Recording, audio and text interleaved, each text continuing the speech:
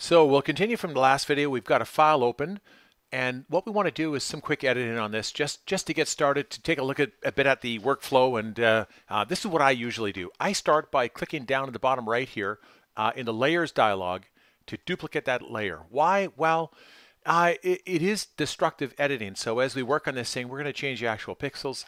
This way I always have a reference to uh, let me look at uh, what it was like originally.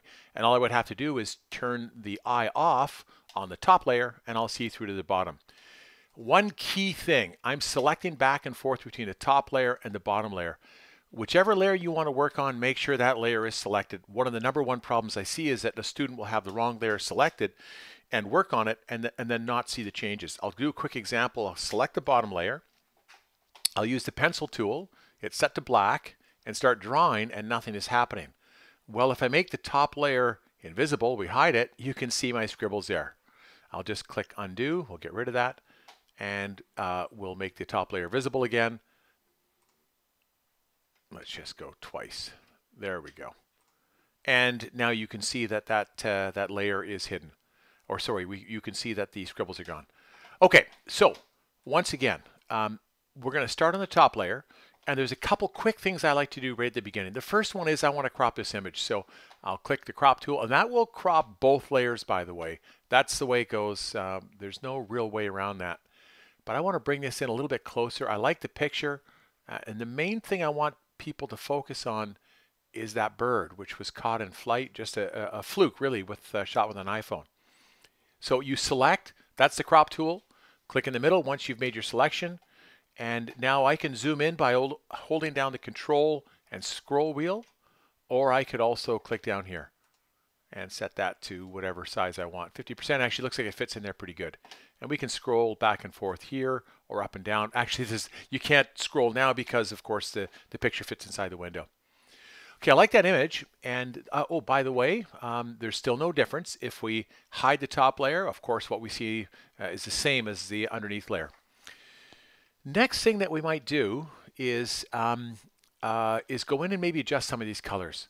And the quickest and easiest way to do that is to go Colors, Auto, and Color Enhance. Okay, so now we're going to see a difference between that top layer and the bottom layer. Uh, I, I, like that. It actually looks pretty good. So I'm going to keep that. I don't always keep it, but yes, I'm going to keep it just like that. I might even crop this a little bit more. Let's just do that quickly here just tighten this up a little bit, uh, maybe to, to there. There, I like that. That's better. All right, next thing that I want to do is I want to do more work in the colors. Uh, so what I'm going to do is go colors and curves. This is like the number one. This is the default. And I've read, I've heard that one of the ways to quickly use curves and effectively is to make an S. So you pull up on the top and pull down on the bottom here. Uh, and that actually, wow, that's, that's not bad. I like that. That's quick.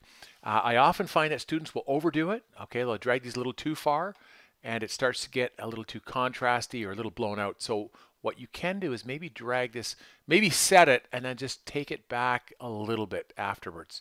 Uh, and hopefully find a place where you, where you feel pretty good about it. I'm going to click OK. And this image is coming along quite nicely. If you look at the difference between the two, this this looks uh, it looks sharper and, and brighter and a, a, little more alive than the the sort of flat image that was taken with the phone. The third thing that I might do is go into colors and adjust the exposure. And this can also be quite effective. Let's just, oh yeah, look at that. Just a little bit of exposure. Wow. I like that. And, uh, or sorry, black level and maybe your exposure as well too. No, I don't want to. Don't think I'm going to change that by much. I, I like it right there. I just a subtle change, and I'll click OK. And if I hit Control Z, you'll see the difference between those two. It's uh, it's it's fairly dramatic. Uh, we can so undo is Control Z. Uh, to redo is Control Y. So let's we could click up there, but I'll just hit Control Y and it redoes that. I'm going to save this. I kind of got this to where I want it already. And uh, you can see the whiskey jack had a uh, an almond in its mouth, which was in Charles' hand. It picked it up and, and flew right at me. And it, again, it was just a lucky shot. But uh, I like how this is looking. So yes, make sure you save it or Control S. And that's it for now.